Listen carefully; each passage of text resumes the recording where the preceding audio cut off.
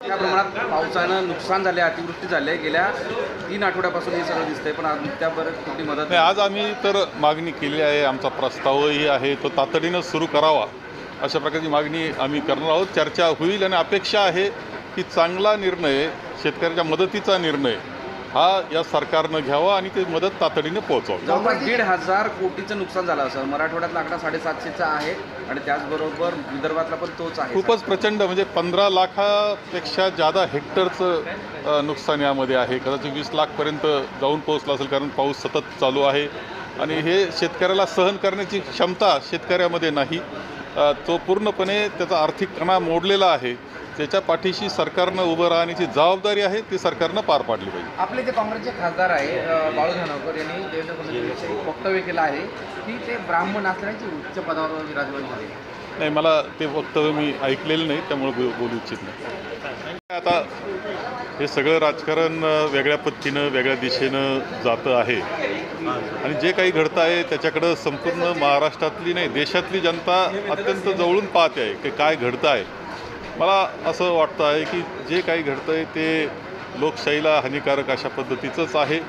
ना आपल्या राज्यघटनेप्रमाणे आहे. त्यामुळं आम्हाला सर्वांना एकत्र पद्धतीनं या सगळ्या गोष्टीचा विरोध करावा लागेल. हा ठीक आहे. आता शेवटी सागर बंगला कदाचित तो वॉशिंग मशीन सारखं काम करत असेल. सर तर पी एस आणि. पी ए जे आहेत आधीच्या मंत्र्यांचे आमदारांचे हे सगळ्या सगळ्यांचा रेकॉर्ड तपासा असे आदेश मुख्यमंत्री उपमुख्यमंत्र्यांनी दिलेले आहेत. काय नेमकं कारण असेल ठीक आहे त्यांनी आता काय करावं हे आम्ही सांगू इच्छित नाही. त्यांनी त्यांची ती काळजी घ्यायची असेल ती घ्यावी. आमचं काही नाही शेवटी आमचा अधिकारी आहे तो अधिकारी शासकीय अधिकारी असतो तो आमच्याकडे असतो. त्यांनी केलेलं काम ते काय सरकार म्हणून काम करत असतो तो. तो काही व्यक्तिगत कोणाचा नसतो. ही वस्तुस्थिती आहे.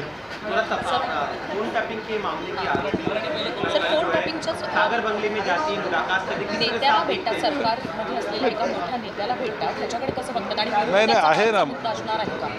मी तर सांगितलं आहे का आता ते वॉशिंग मशीन झाले. सर हिंदी में यही चीज़ रश्मि शुक्ला जो है देवेंद्र फडणवीस से मिलकर आती है। ठीक है वो, वो गई होंगी वो अभी सागर बंगले में रहते फडणवीस जी और वो वॉशिंग मशीन का काम कर रहे हैं वो बंगला।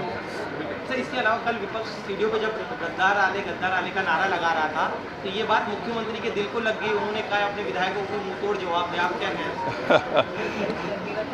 ऐसा है कि आ, हाँ अभी वो तो वो तो चलने वाला है। जो हमें कह- कहना है हमारे लोग कहते हैं उसको क्या जवाब देते हैं? हम देख रहे हैं उनका जवाब की राह देख रहे हैं हम।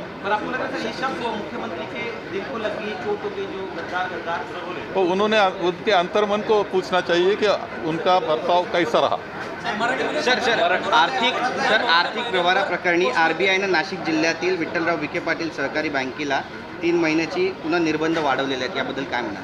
नाही मला त्यातले बारकावे माहीत नाही परंतु ज्यावेळेस निर्बंध रिझर्व्ह बँक टाकते याचा अर्थ त्या बॅ- बँकेमध्ये थकबाकीचं प्रमाण एका लिमिटच्या पलीकडे गेलं असेल किंवा कोणतं तरी गैरव्यवहार त्यामध्ये निदर्शनाला आला असेल.